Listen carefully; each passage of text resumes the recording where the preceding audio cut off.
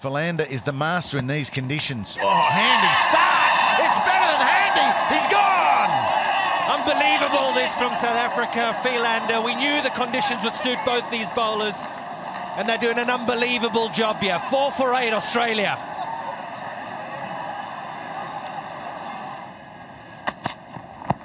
Oh, that's really close. And out, it's been given. It was tracking the stumps, that's for sure. It looked out.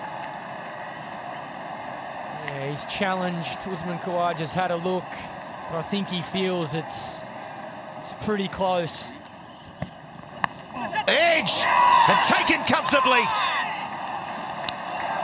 So uh, nestled in there at first slip, Amla takes it, and that's the third for Australia. This is a tough morning session for them. That's LBW, is it? Yes,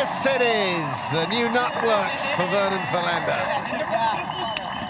Well, it's the one that stays down a bit that you've got to worry about as a batsman. Don't worry about, uh, or don't worry so much about the one that bounces and deviates, but the one that skids a little bit low and is on line, it's trouble. The lowest scores.